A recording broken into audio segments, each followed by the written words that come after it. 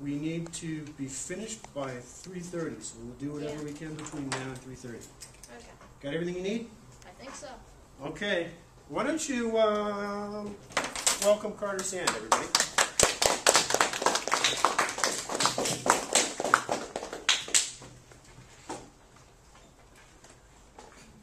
Boy, that projector is bright. That is great. I'll just dim this one. Whoops, thought I had it.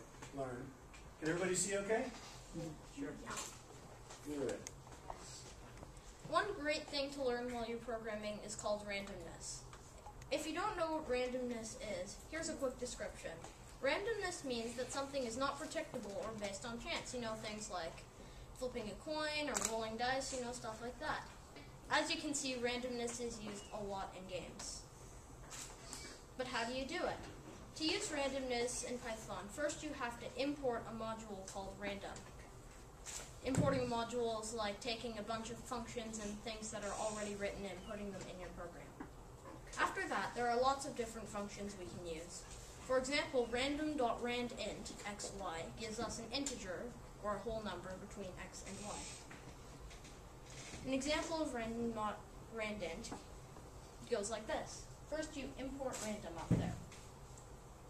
And then you loop 10 times and you just print random numbers between 0 and 10. Between 0 and 10. And you come up with output that might look something like this. The numbers will be different every time you run it because the numbers are random. So they won't be the same every time, otherwise they will be predictable.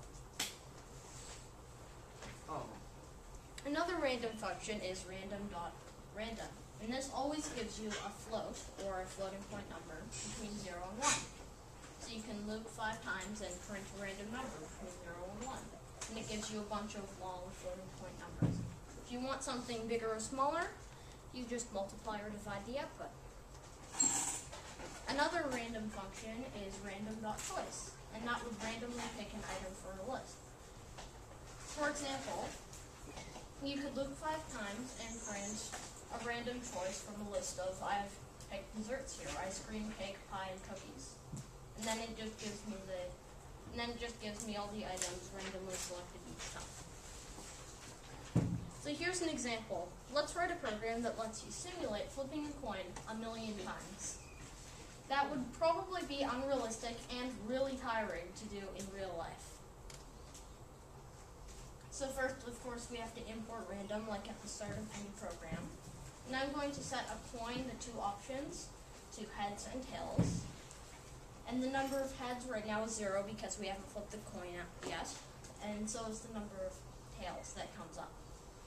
So then I'm going to loop one million times, flip it once, and get random choice between heads and tails. And if it's heads, then put, then put number of heads plus one. And if it isn't, then you add one to the number of tails. That way you can keep a running total of how many heads you have and how many tails you have. Then at the end, you can just print the number of heads and the number of tails. You can also simulate cards, dice, or anything else that you can think of that's unpredictable, like computer-generated characters, for instance. So you can make a game where the computer plays against you.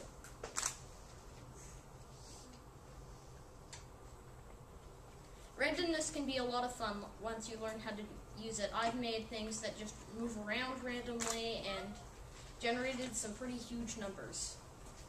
I hope you guys have fun with it as well. Thanks, Carter. Fire up the Python terminal and you can, are you comfortable working in the, Yeah. in the terminal? Yeah. Yeah, let me set you up with that because we have some more time. You can uh, kind of expand a little bit on what you've done. Uh, you can read that, right? Yeah. And you probably want the old-fashioned American style keyboard, so I'll give you that instead of the one I use. Uh, the Dvorak, the Dvorak layout. It was made to be more efficient. Uh, good. So this should work fine for you. Let's just make sure ASDF. So we'll do we'll do a little bit more with Carter. Here we are in the shell, and I didn't have anything specific in mind. I mean, you could import random. And, Yeah, that's always first. You always have to import random first. Yeah. So one of the things that you might want to do is pick a random ice cream flavor. I don't know if you can't decide what ice cream flavor to do. So let's make a list of flavors. And let's do some of your favorite ice cream flavors. So raise your hand. You do realize, all of you, that we're not actually getting any ice cream, right? Yeah. Aw. Okay, any more? Yeah, I'm sorry. No? Okay. Oh, So now we can just do flavor. picked equals random dot choice, and then we can just give it our list flavors. So if I spelled that right. You did. And then we can just print the picked ice cream. So apparently, if you were to be getting ice cream, you would get moose tracks. Oh. but Oh, Yeah. Now, do you have another way that you can do that? Forward yeah, slash. another way to do this is I know I'm putting you on the spot. yeah. I think you can do it. I like bicep uh, Um, six. Why is it four again? I don't know why it's four.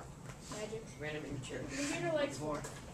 Yes, the computer likes the number four. That is the only Try again. explanation. By looping four i in range one hundred. Print random Quote 45 is dead. random one six.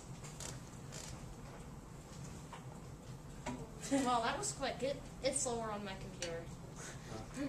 So if we scroll up, we can see that we don't see 45. do get a variety of numbers if I can put the scroll bar.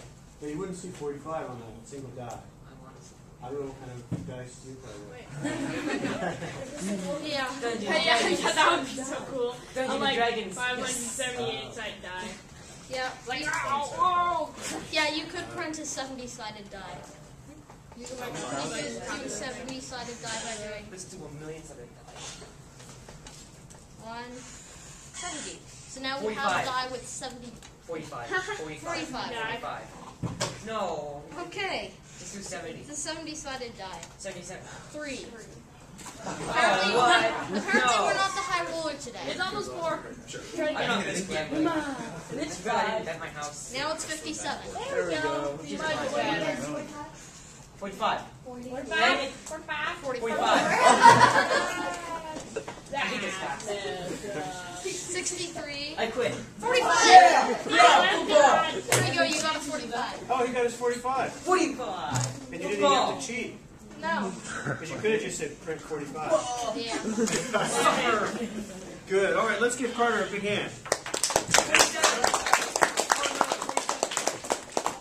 Now, if you want to, you're welcome to join us in the lab. We'll be in the lab between now and 4:10. You can stay for five minutes or 10 minutes or whatever you want to do. And you can wander around and help people with uh, questions about random numbers. Hey, you might enjoy it.